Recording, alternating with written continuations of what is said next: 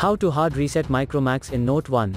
Step 1. At the very beginning push the power button for a couple of seconds to turn off the Micromax in Note 1. Step 2. Now press and hold volume up plus power button together. Step 3. Release both keys if you see recovery mode on the screen. For further detailed guide, please check the link in the description, there you will find further steps on how to hard reset your smartphone. For further detailed guide, please check the link in the description, there you will find further steps on how to hard reset your smartphone. For further detailed guide, please check the link in the description, there you will find further steps on how to hard reset your smartphone.